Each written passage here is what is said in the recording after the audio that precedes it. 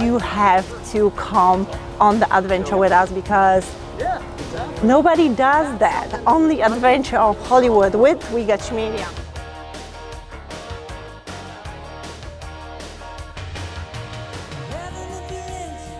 Yeah. You're going to get your name in the Guinness Book of World Records. You got to sign the top of the car, and we're putting it in a museum after this.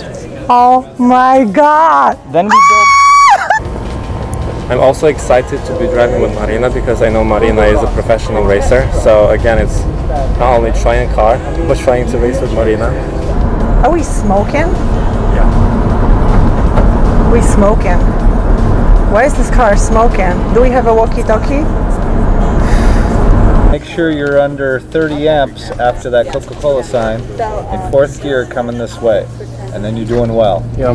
This is not good though.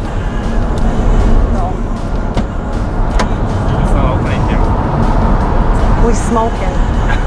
Which is more excited. it's, it's much more excitement than just a car. See, I think I, I went too fast from the beginning. Do you see the yellow socks?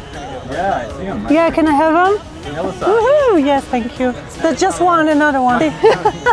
this is hey, it's not underwear, just socks, you know. He had to get a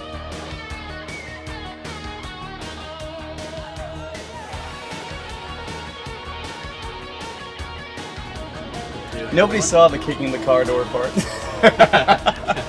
the car door was open. Uh, Paul's going. Yeah, but the I don't remember which guy it was. Who did he asked me if I wanted to drive the car?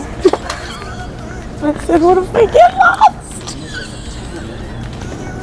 Okay. He said, it's a circle. What's on your bucket list? Well, this.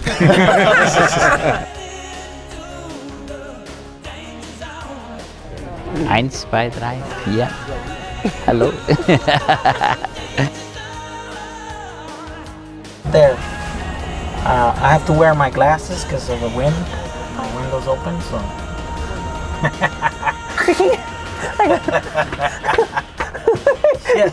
So this is great. You know, at Guinness World Records, we always look for what's new, cutting edge, breaking. This record has existed since 2013, and it surprises me that no one tried to challenge it until now. See it broken today and to know that they're going to keep on going is really exciting.